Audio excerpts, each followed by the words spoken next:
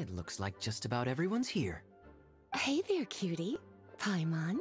I didn't know you two would be coming. So you... Yep, we ran into Kaeya near the Adventurers Guild. Oh, wow. Paimon's never seen so many people in the main hall at once before. Oh, Paimon's getting kinda nervous now. Don't get too carried away, alright? If I know the Grand Master, the fact that he has the time to be writing letters means it's probably nothing serious. It certainly won't be bad news. Kaeya's exaggerating a little, but otherwise I agree. After all, Mika's not the kind of person who'd be able to keep it hidden if something were the matter. The truth would be written all over his face. Over there, look. The kid standing next to Jean in front of the staircase? He used to be a land surveyor in Eula's team. He's very talented in what he does, and a very reliable person. When the expedition team set out, the Grand Master appointed him to be the core member of the frontline team. He's the one that brought back the letter. Please, may I have your attention, everyone? Now that we're all here, let's begin reading out the letter from the Grand Master. Mika, please, go ahead. Y yes, Master Jean. Right.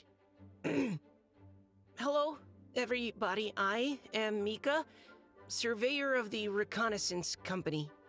Uh, recently, I have been taking part in an assignment with the expedition team. I will now be reading Grandmaster Varka's letter aloud for you all. to the Knights of Favonius. Greetings, everyone. This is Varka. The first thing I want to say to you all is please put your minds at ease. The expedition is safe, and all of its members are accounted for. Oh, that's fantastic news. My palms are sweating. um, may I continue? Go ahead, Mika. All right. Now that your fears are allayed, I trust you'll be ready to listen to the rest of my letter. I'm writing to you from the northernmost reaches of Teyvat by the light of a stove. The expedition forces are stationed here while we restock. I once told you that the purpose of this expedition was related to a dangerous secret from days long past. I am still unable to disclose more than this, but suffice to say that you needn't worry about how our mission is progressing. In the past couple of months, we've received an unexpected visitor. The Fatui Harbinger known as... the Captain. Uh, the Captain?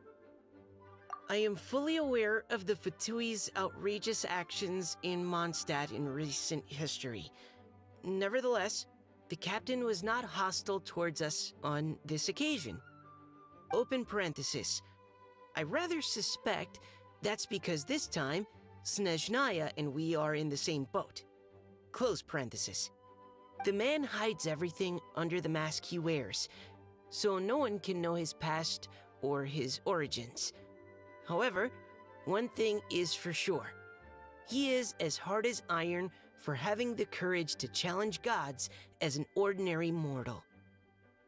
I don't doubt that he could even take out a ruin guard by stabbing it in its big, glowing eye with one of Klee's crayons. Open parenthesis, don't get any ideas. Close parenthesis. Our scouts have confirmed that the captain received orders to head for Natlan three days ago. We'll be able to sleep much better now that we don't need to worry about him anymore. I will admit that some of his actions have helped us, but even then, he owed us at least that much. This year's Fest must be kicking off in Mondstadt any day now. What a great pity that this year, once again, we will be unable to spend the festival together. Everyone here is always thinking back fondly upon the fine wines of Mondstadt, as well as the happy times we have spent with each and every one of you.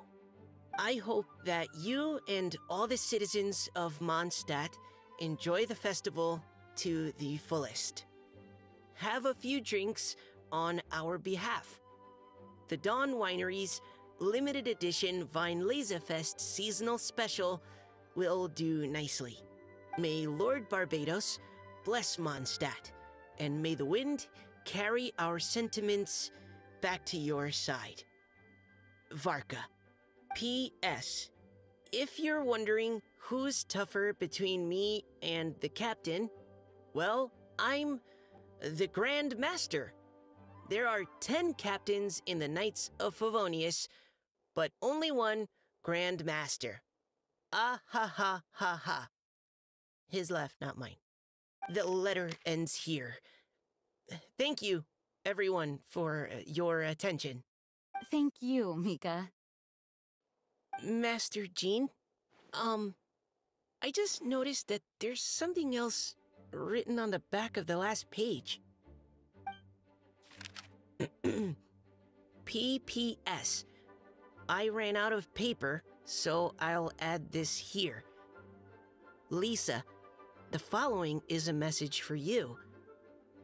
Uh, oh, uh, this part seems to be from the Grand Master to Miss Lisa. Oh, for me? Uh, seeing that it's a special message, Lisa, we'll discuss this in private. Everyone, as the Grand Master mentioned in his letter, the Weinlese Fest is in just a few days. And how fortunate we are at this time to receive word that all is well with the expedition. Though they are unable to return to Mondstadt and spend the festival with us, the Weinlese Fest will nonetheless be a major event that all of Mondstadt is looking forward to. I hope that everyone will guard your stations and perform your duties, both for our far-flung colleagues involved in the expedition and also for the hardworking people of Mondstadt. And of course, during your time off, I hope you will be able to rest, relax, and enjoy this long-awaited festival. That brings our meeting to a close. Dismissed. Did Paimon hear that right? They ran into the Fatui's captain? Hmm. Who knows what that was about? But it must have been important. But, uh, Fatui Schmatui! The real big deal here is the Weinlese Fest. Sounds like there'll be loads of free food and drink. Paimon wants to hear more. Hey, cuties. How about we go and chat with Jean? You didn't get a chance to say a proper hello with so many people here.